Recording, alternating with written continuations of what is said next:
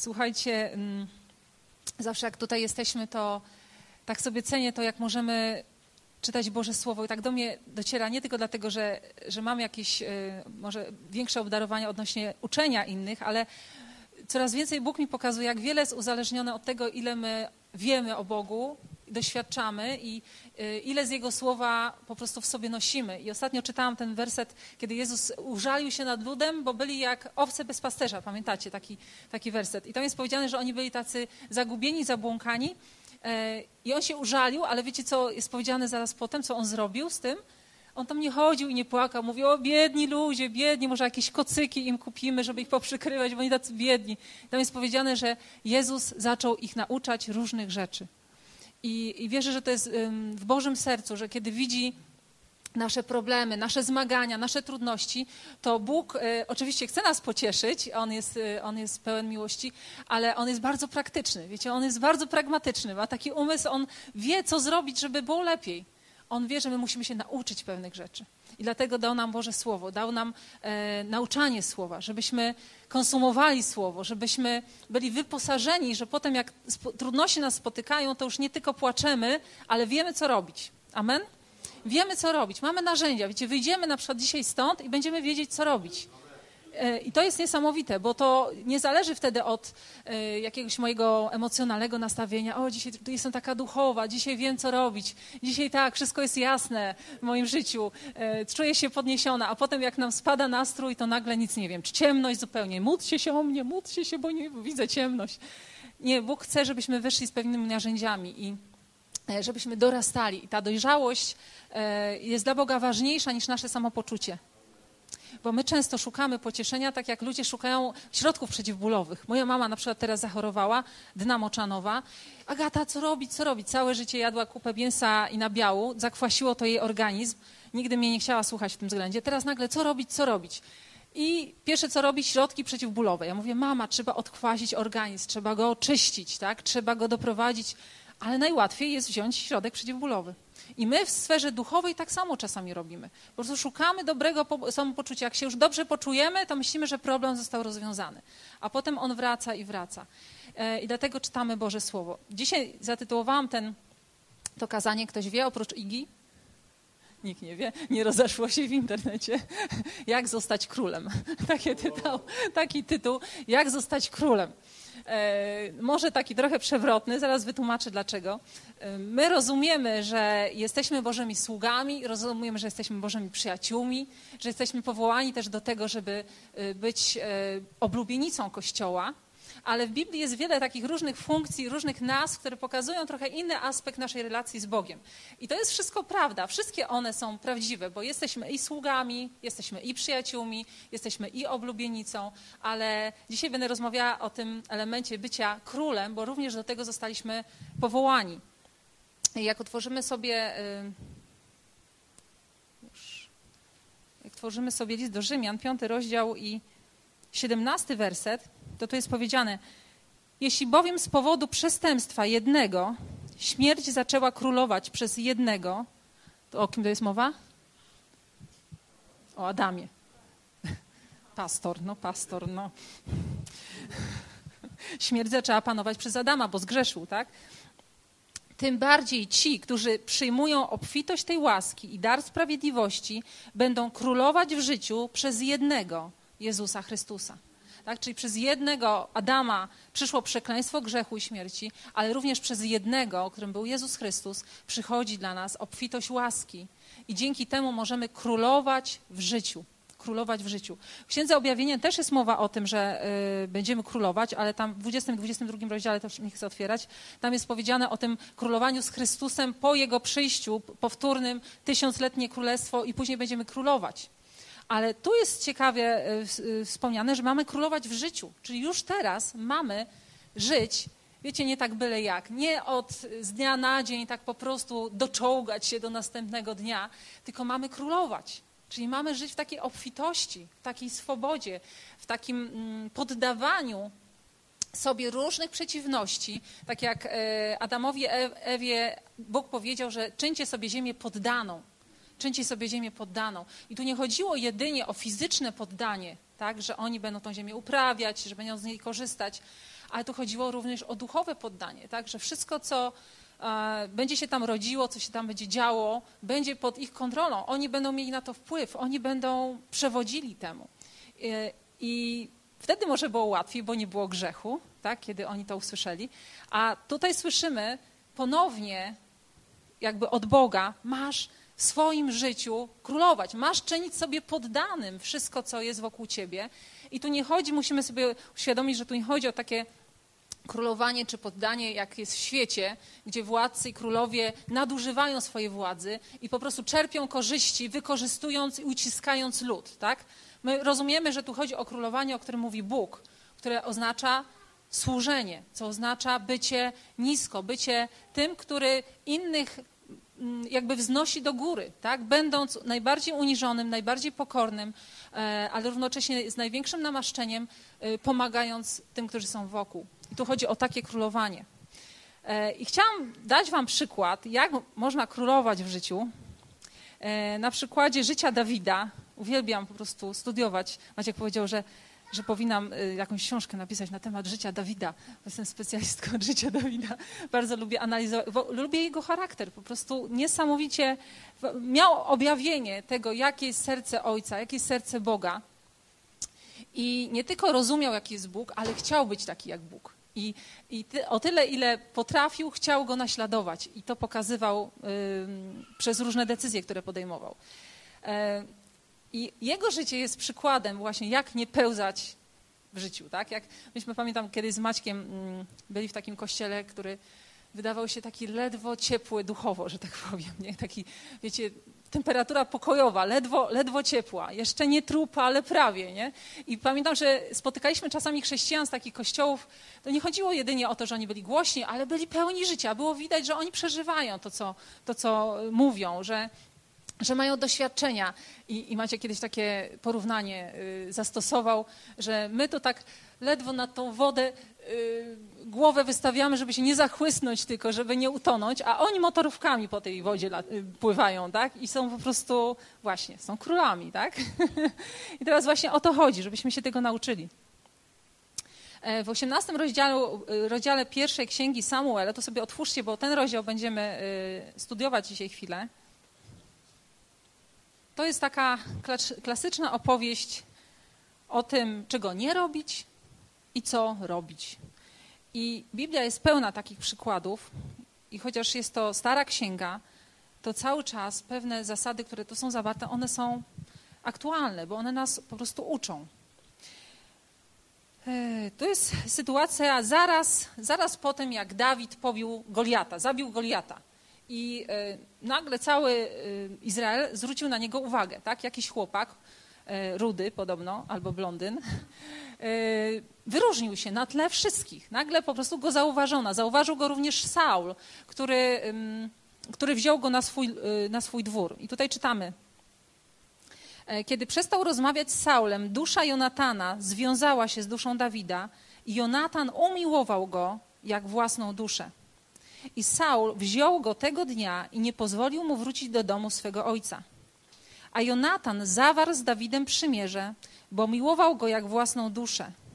Jonatan zdjął płaszcz, który miał na sobie, dał go Dawidowi, podobnie jak sza swoje szaty, aż do miecza, łuku i pasa. To był taki zwyczaj, sposób zawierania przymierza.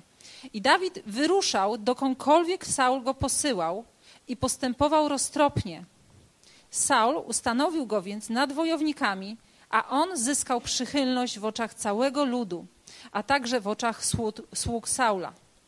A gdy wracali, a Dawid też wracał po zabiciu Filistyna, kobiety ze wszystkich miast Izraela wyszły na spotkanie królowi Saulowi ze śpiewem, pląsami i radością, z bębnami i gęślami, cokolwiek to jest.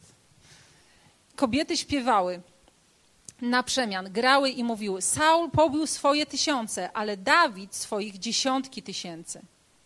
I Saul bardzo się rozgniewał, gdyż nie podobały mu się te słowa. Powiedział: Przyznali Dawidowi dziesiątki tysięcy, a mnie przyznali tylko tysiące. Czego mu, czego mu brak? Tylko królestwa. I tu się zatrzymamy na chwilę. Od tego dnia Saul zaczął nieprzychylnie patrzeć na Dawida. tu się zatrzymamy, zatrzymamy, dlatego że są dwie postaci. Mamy tutaj króla Saula i króla Dawida, który jeszcze królem nie jest, ale już jest namaszczony na króla. Dwa rozdziały wcześniej został namaszczony. E, czyli taka sytuacja, gdzie jest dwóch bożych pomazańców, wybrańców, tak? To namaszczenie na króla oznaczało, że Bóg wybiera tą osobę i szczególny sposób e, wyznacza do pewnych zadań. Namaszczani byli prorocy, e, kapłani i królowie. Czyli to były takie specja- szczególni ludzie. Patrząc teraz na takie odniesienie nowo, w Nowym Testamencie, to każdy z nas, który przyjął Jezusa Chrystusa, tego, który jest namaszczony, tak? Chrystus namaszczony, E, my również jesteśmy namaszczeni. Jesteśmy namaszczeni Jego Duchem Świętym. Każdy z nas został wybrany. I tak jak czytamy w Starym Testamencie, że tam byli tacy niektórzy, to to, co jest niesamowite teraz, po tej drugiej stronie krzyża, że każdy, który wierzy w, Chrystusie, w Chrystusa, jest Bożym wybrańcem. E, I te słowa, które kiedyś e, dotyczyły tylko niektórych, to teraz dotyczą nas. I możemy się identyfikować z nimi.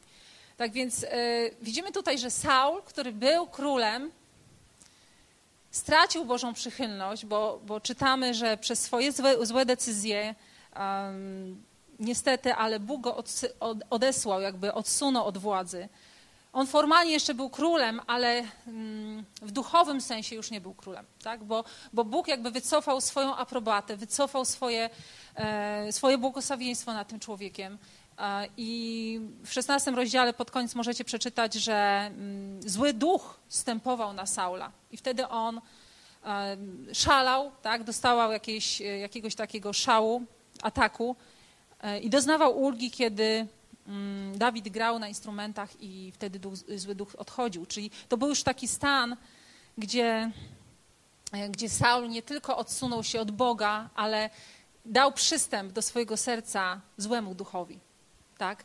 My, my wiemy, że wiecie, do czego są muchy przyciągane zazwyczaj, jak idziemy na spacerze. Są przyciągane do gówna, krótko mówiąc. I niestety tak też jest ze złymi duchami, że one są przyciągane do zgnilizny. One są przyciągane do, y, do jakichś śmierdzących rzeczy w naszym sercu. Tak? I e, nie wiemy do końca, co Saul tam w tym sercu miał. Widzimy tylko jego decyzję, kiedy nie posłuchał Samuela, nie, nie zrobił tego, co Bóg od niego chciał. Ale Bóg musiał widzieć w tym sercu o wiele więcej, skoro powziął taką decyzję. Bardzo, to nie był jakiś, jakiś tam błąd jeden, tak? Bo możemy patrzeć na tę historię, czytać, myśleć, Bóg jest taki okrutny, jedno potknięcie, ciach, już wypadasz z gry, po prostu koniec. Nie, nawet nie możesz się nawrócić, bo dostałeś złego ducha, bo tu jest na, nawet w pewnym miejscu napisane, że od Pana był ten zły duch. No to, no to biedny Saul, tak? O co on mógł zrobić? Ale prawda jest taka, że znając naszego Pana, znając naszego Boga, przez, przez, przez życie Jezusa Chrystusa, wiemy, że Bóg taki nie jest i Bóg nie odrzuca bez powodu. Więc y, Saul tutaj widzimy Saul, że się y, rozgniewał. Tak? Myślę, że gdyby to nie kobiety śpiewały, jak ktoś tam inny, jakieś dzieciaki, to aż tak by tego sobie nie wziął do serca. Ale wiecie, jak kobiety odrzucają y, mężczyznę, to jest takie jeszcze, jeszcze gorsze, prawda? Miał tutaj, Dawid miał sławę i zyskiwał tą sławę, chociaż był nikim tak naprawdę, był pasterzem. Bóg go sobie upodobał, został namaszczony pokryjomu, tak że tylko jego rodzina widziała. Ale tutaj zaczynamy obserwować te wersety, które przeczytałam. Zobaczcie, od pierwszego do, do siódmego wersetu widzimy stopniowy wzrost łaski od Boga i błogosławieństwa. Jakbyśmy mogli sobie tutaj wymienić, zobaczcie, pierwsze, um, pierwsze, w pierwszym wersecie mamy to, że Jonatan pokochał Dawida całym sercem. Czyli Bóg dał Dawidowi przyjaciela i to tak z marszu po prostu. Jonatan nie znał prawdopodobnie wcześniej Dawida, po prostu zobaczył go, to co zrobił, y, że pokonał Goliata, że był tak odważny i po prostu pokochał go. I Bóg mu dał przyjaciela. Po prostu Dawid od, od razu zyskał przyjaciela. Potem czytamy y, w drugim wersecie, że Saul wziął go tego dnia, nie pozwolił mu wrócić do domu, czyli Saul go zabrał z wioski, krótko mówiąc, i od owiec i wprowadził go na dwór królewski. Tak? Czyli zmienił mu zupełnie miejsce e, zamieszkania, miejsce wpływu. Trzecie błogosławieństwo.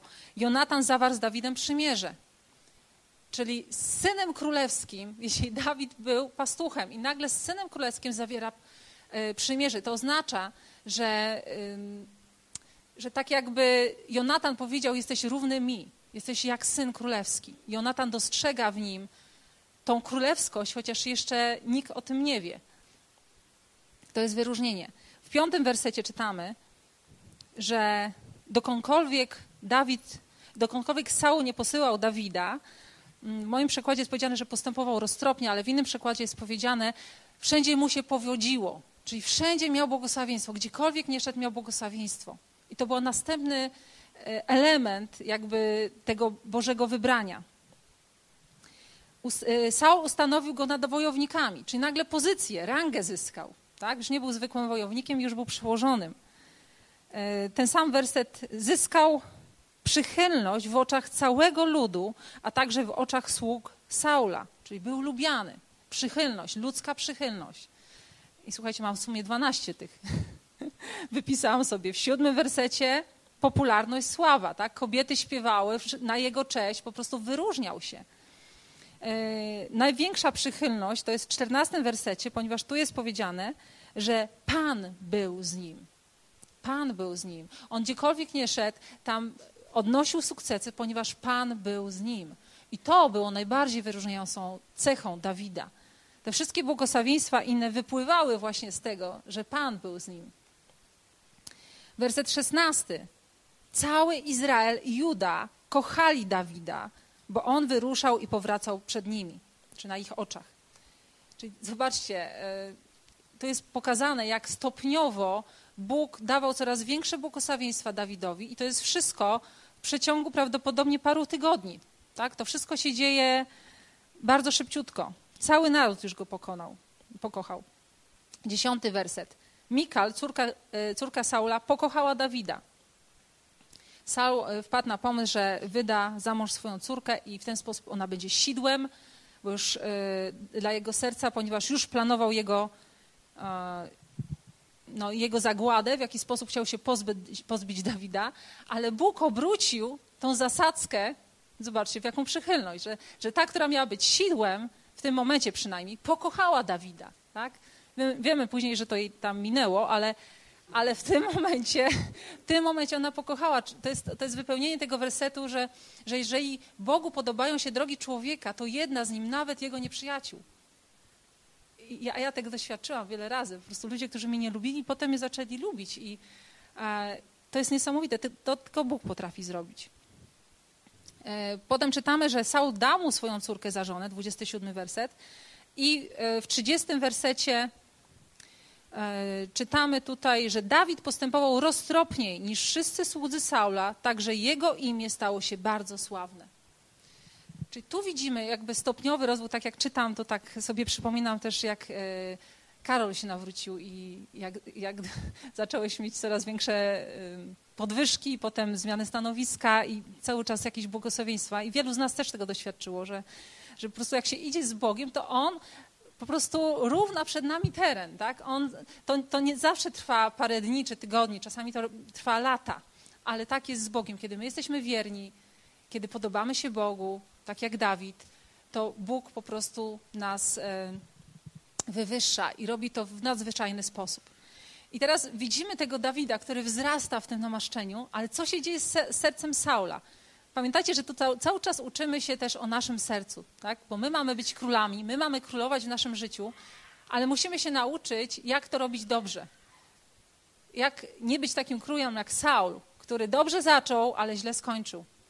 Bo Bóg ma wielkie pragnienie każdego z nas wywyższyć. Bóg ma pragnienie dać nam więcej wpływu dać nam e, taką swobodę i możliwość oddziaływania na ludzi, ale my musimy mieć siłę to unieść, tak? nie, nie załamać się tak szybciutko, jak zrobił to Saul. I e, to, co tutaj widzimy, że mm, w Saulu zaczyna rosnąć e, gniew, Zaczyna się to od ósmego wersetu, no czy zaczyna się to tam wcześniej, ale załóżmy tutaj czytamy o tym, że on porównał się, tak? To było pierwsze, co on zauważył. O, Dawida, zauważyli Dawida, że on większe sukcesy odnosi niż ja. O, nie spodobało mu się to. Zamiast przyjąć taką postawę ojca, że ja wziąłem tego Dawida, mamy teraz fajnego wojownika, on odnosi sukcesy, będzie dla naszego kraju wielkim błogosławieństwem. Zamiast myśleć kategoriami kraju, tak jak powinien król myśleć, to jak on myślał? On myślał tylko o sobie. On tylko się porówna. On nie pomyślał, jaki to będzie e, pożytek dla wszystkich ludzi. On powinien jako król myśleć y, nie o sobie, tylko o innych. Taka jest rola króla. Myślisz o innych. Nawet jeżeli masz być tylko królem w swojej rodzinie, to myślisz o swojej rodzinie, a nie o sobie. Myślisz o kategoriami swojego kościoła, myślisz kategoriami swojego miasta, w którym mieszkasz, swojego kraju. Im więcej masz jakby od Boga objawienia i zrozumienia, autorytetu później, to tym, ten krąg Twojego zainteresowania się poszerza. Ty masz, masz potrzeba, pragnienie błogosławić i pomagać coraz większej ilości ludzi. Y, Saul tutaj w tym momencie myślał tylko o sobie: O, ja jestem gorszy niż on. I chociaż Dawid nadal był nikim, to wkradła się zazdrość. Tak? Czego mu brak? Tylko królestwa. I zaczął nieprzychylnie patrzeć na Dawida. Potem jest, e, widzimy, że Saul, który nie skonfrontował swojego serca w tym momencie, e, po, jakby dopuszcza się coraz gorszych rzeczy względem Dawida. Jedenasty werset. Rzuca włócznią, chce go normalnie zabić. Tak? E, dwukrotnie, ale Dawid uchylił się. Dwunasty werset. Saul zaczął bać się Dawida, ponieważ Pan był z nim, a od Saula odstąpił. I tu jest takie sedno. To jest takie sedno tego, co może dziać się w naszych sercach, bo my tu czytamy o Saulu, myślimy, no ten Saul był taki zły, oj, on się porównywał i on tutaj był zazdrosny, on y, zobaczył czyjeś błogosławieństwo, nie mógł go znieść, nie mógł y, spokojnie patrzeć, że Bóg kogoś wywyższa, ale to cały czas dotyczy naszego serca. My nie musimy być królami wielkimi, żeby, żeby to samo wchodziło do naszych serc. Widzimy, że na przykład, nie wiem, walczymy o uzdrowienie swoje modlimy się e, tygodniami, może miesiącami i nagle przychodzi ktoś po raz pierwszy na nabożeństwo, jest zaproszony do modlitwy, bo modlimy się o chorych i zostaje uzdrowiony. I ty sobie myślisz, ale jak? Ale on tu to tylko przyszedł. Kim on jest w ogóle, nie? Przecież on się nie modli tygodniami tak jak ja. On nie pościł ani razu, żeby otrzymać coś od Boga. Przychodzi, przyszedł, dostał, wyszedł. Może nawet zapomniał, że to od Boga dostał, bo czasami tak bywa jak to jest? I, I może w naszym sercu zaczynać jakaś taka, wiecie, czemu tak jest Boże? Czy ty mnie mniej kochasz? Co jest ze mną nie tak? Może to się nawet zaczyna w ten sposób. To nie musi być od razu wielka zazdrość, ale jakaś nieufność, jakaś zadra, jakaś ranka powstaje. I to coś może stać się zarzewiem, wiecie, do, do większych problemów. I widzimy u Saula, że on po prostu nie, nie skonfrontował siebie w tym momencie, w którym mógł jeszcze. Bo tak pomyślałam, że okej, okay, Saul zgrzeszył, nie usłuchał Samuela, prawda, nie, nie wyciął tam tego, bo tam miał wyciąć całe plemię, on tam zostawił, zostawił jakieś bydło, jakieś lepsze kąski, zostawił króla. E, nie posłuchał się Boga. Bóg go odrzucił, ale przecież mógł się jakoś zreflektować, tak? Mógł od tego momentu powiedzieć, nie, od tej pory chcę iść za Bogiem. Będę pilnował swojego serca i będę szlachetnie postępował. Ale Saul tego nie zrobił. Jakby brnął dalej. I zaczął bać się Dawida. I czasami też tak z nami bywa, że kiedy, kiedy jakby pozwalamy sobie na porównywanie się, porówny, jakby zaczynamy myśleć o sobie gorzej, bo ten ktoś jest w lepszej pozycji albo ma większe błogosławieństwo, a ja nie, to może dojść do czegoś takiego, że my unikamy tej osoby na przykład, tak? Unikamy, nie chcemy, nie chcemy żeby ona była w, po, w pobliżu. Możemy e, nawet zacząć właśnie bać się, bo wi, widzimy, że Bóg jakoś tą osobę wywyższa, a nas nie. Ale sednem jest to, że Pan był z Dawidem, a z nim nie był. I jeżeli jakby zapędzamy się w takie rejony, to musimy za wszelką cenę szukać Bożej obecności. Szukać, bo my, my, musimy być z Bogiem, musimy mieć tą pewność, że, że Bóg jest z nami. Jeżeli my nie jesteśmy z Nim, to, to, to trzeba szukać Jego oblicza i, i, zrobić wszystko, żeby On był z nami.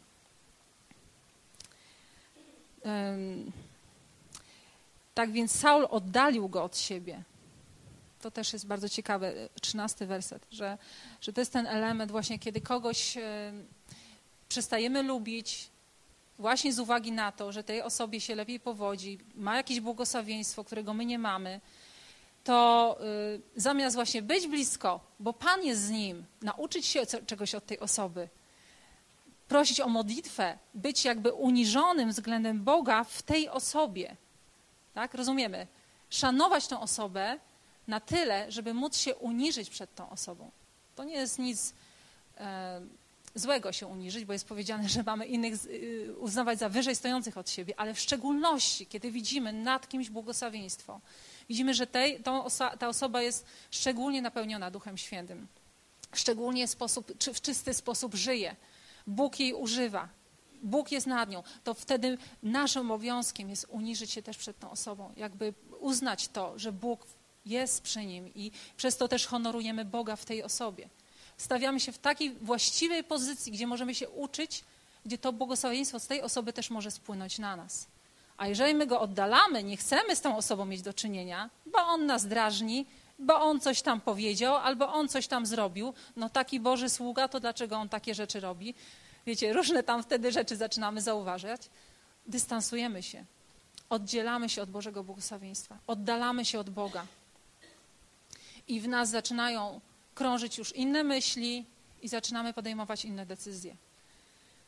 My musimy bardzo pilnować swojego serca. Wiecie, Saul, no spadło to na niego, że został tym królem. E, na Dawida w sumie też to spadło nagle, tak? Nagle się okazało, że Bóg ich wybiera. Ktoś powie, wow, ja bym chciał, żeby na mnie coś takiego spadło, nie? Przychodzi prorok, cię namaszcza na taką pozycję. Będziesz prezydentem kraju, nie? Załóżmy, Damian, będziesz prezydentem kraju, nie? Przychodzi Bóg, ciebie namaszcza i ty nagle masz przyjąć taką, y, taką pozycję, tak? Ty musisz być gotowy, żeby udźwignąć to. Bo oczywiście możesz zacząć zachowywać się jak prezydent, e, możesz się ubrać, możesz, prawda, to pierwsze co zrobimy, pójdziemy do sklepu, nie? Ubierzemy się najlepsze ubrania, żeby dobre wrażenie sprawiać i na zewnątrz możemy się tak zachowywać. Ale czy twój charakter jest dostatecznie silny, żeby tą pozycję unieść?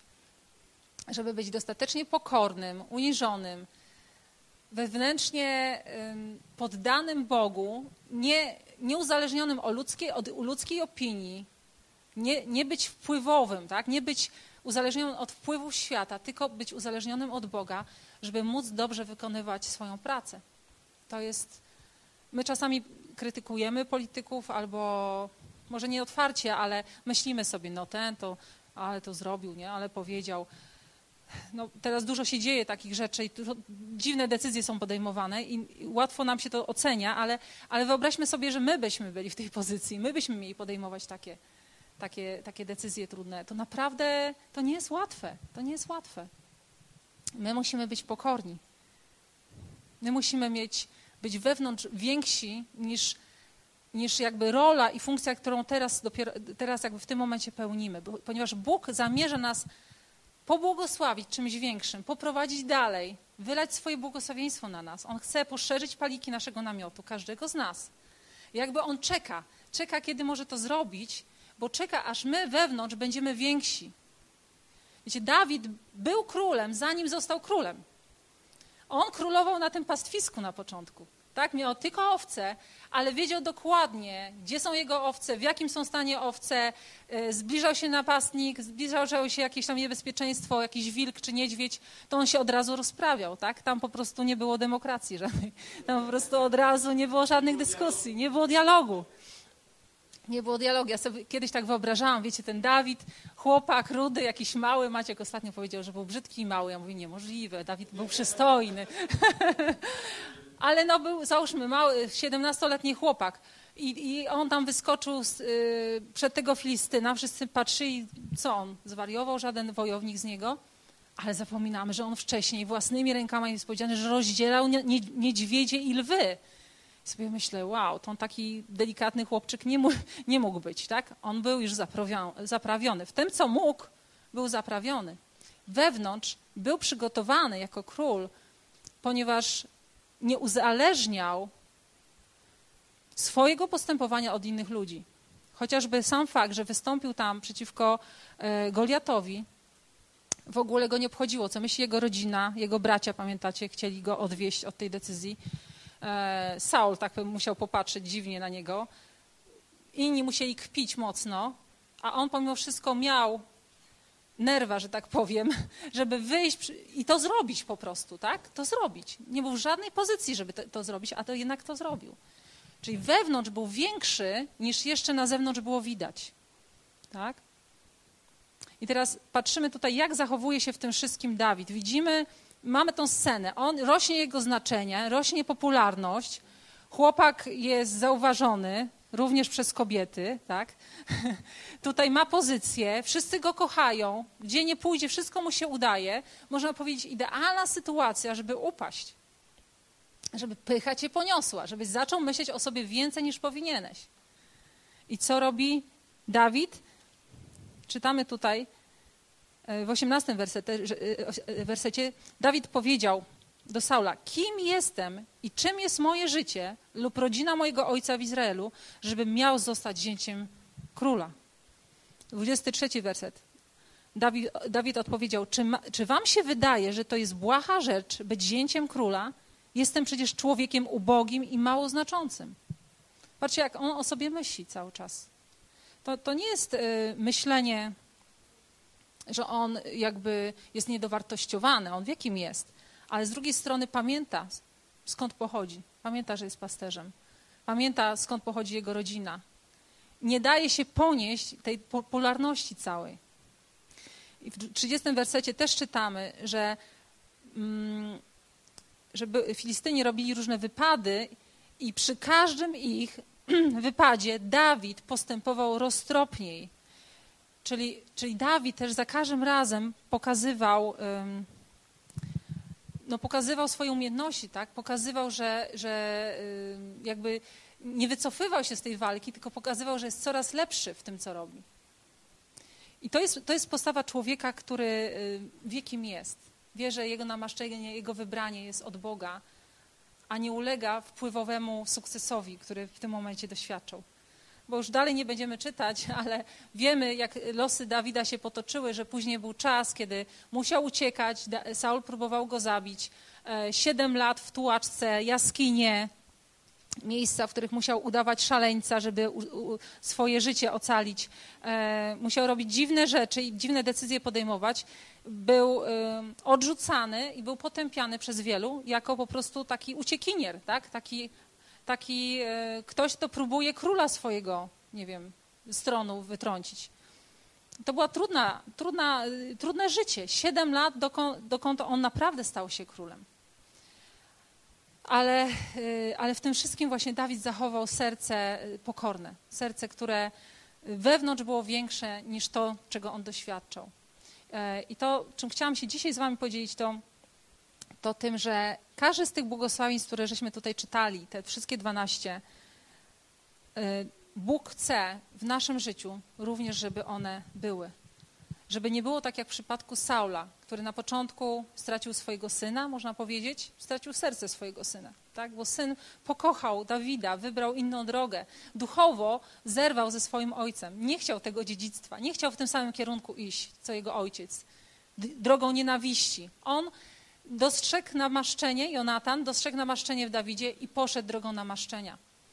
Czyli Saul stracił swojego syna, Saul stracił Boże błogosławieństwo, Saul stracił Boże prowadzenie, Saul później stracił królestwo, stracił życie również, wiemy o tym, ale co gorsze, stracił dobre imię, bo do tej pory się o nim y, czyta, mówi, kazania.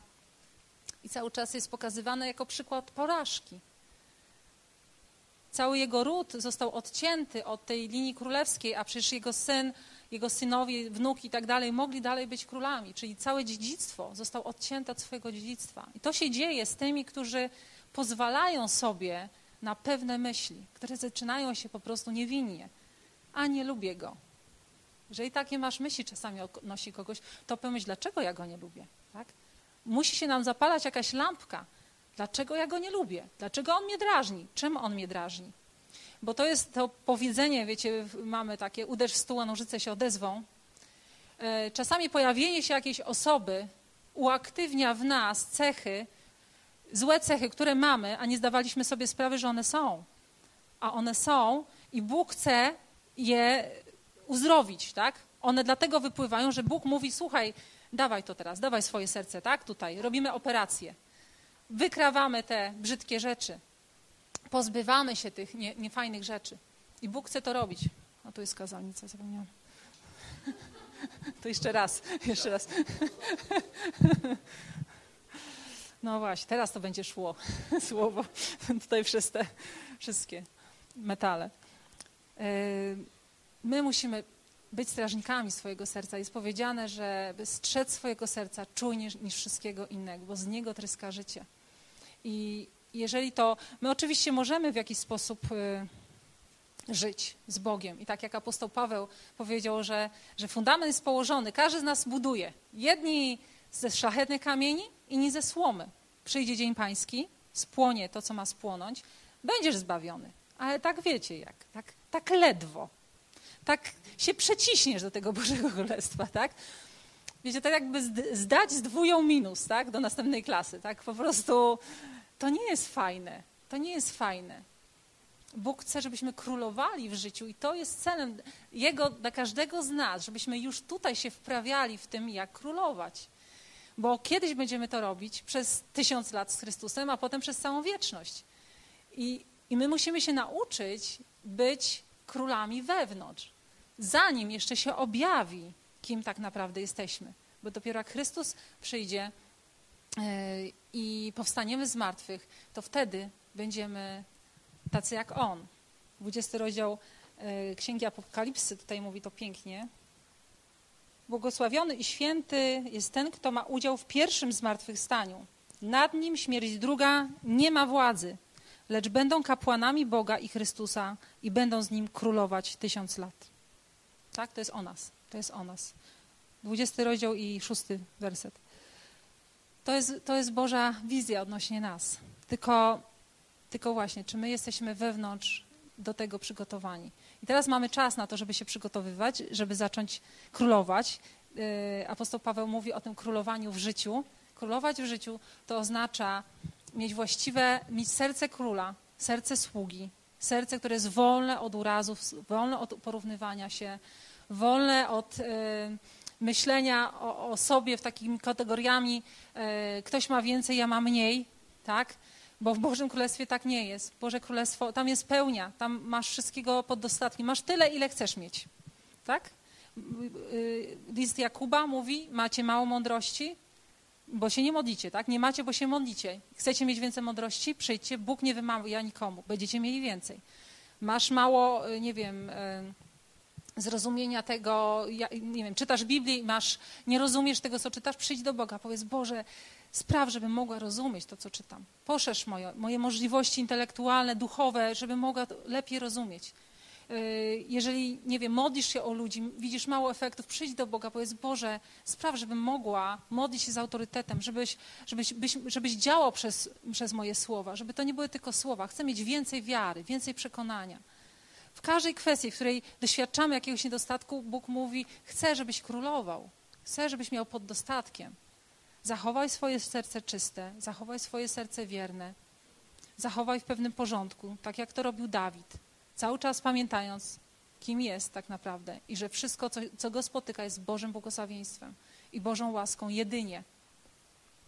I przez to Bóg mógł go uczynić najpotężniejszym królem w Izraelu. Miał mnóstwo błędów, jak tam czytamy, popełniał dużo błędów, różne rzeczy tam robił, ale, ale do tej pory jest nazywany człowiekiem według Bożego serca bo właśnie ja nie wiem skąd on to wziął, ale to były zupełnie nowotestamentalne spojrzenie na to, jak postępować z wrogami na przykład. Że często się nie mścił, tylko wycofywał się, miał możliwość e, zemszczenia się, ale tego nie robił, bo rozumiał, że Bóg mu okazuje łaskę, więc on musi okazać łaskę. I, I, to było takie zrozumienie ponadnaturalne, bo w tamtym czasie nie było takich rzeczy. Po prostu nie było takich rzeczy. Prawdopodobnie on był przywódcą, bo ludzie widzieli w nim kogoś więcej niż człowieka. Oni widzieli w nim, oni widzieli Boży autorytet, widzieli w nim Chrystusa. I wiecie, my też będziemy mieli autorytet w swoim życiu, jeżeli ludzie będą w nas dostrzegali Chrystusa. Jeżeli będą wszelkie możliwości, wszelkie jakby warunki wokół nas, że, które będą mówiły, zazdrość, tak? bądź zawistny, e, a ty powiesz nie. Nie, ja błogosławię tą osobę. Albo ktoś będzie tobie robił pod górkę, nie wiem, będzie cię obgadywał, będzie zły dla ciebie, a, a ty będziesz mógł podejść do tej osoby z uśmiechem i, jeszcze jej coś dać albo błogosławić tą osobę. I to są takie ponadnaturalne rzeczy, których Bóg nas uczy. Jeżeli my się w tym wyćwiczymy, to to się będzie nazywało królowaniem, ponieważ będziemy poza ludzkim systemem, poza tym, co diabeł próbuje z nami zrobić, sterując na, nami przez strach, przez porównywanie się, przez niskie poczucie wartości, przez, yy, przez strach przed śmiercią, tak? przed tym, że stracimy coś. Diabeł tym nas jak takim sznure, jak sznureczki pociąga, to tak próbuje na, nami sterować, ale jeżeli my to wszystko odetniemy i będziemy postępować tak, jak Bóg nas uczy, to będziemy po prostu prawdziwie wyposażeni do tego, żeby większe, większe błogosławieństwo na nas mogło spocząć. Amen.